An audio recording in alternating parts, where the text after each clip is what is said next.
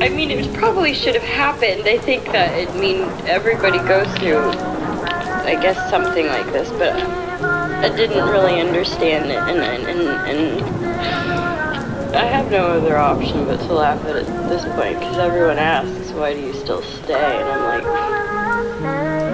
I guess I don't love myself first. That's it.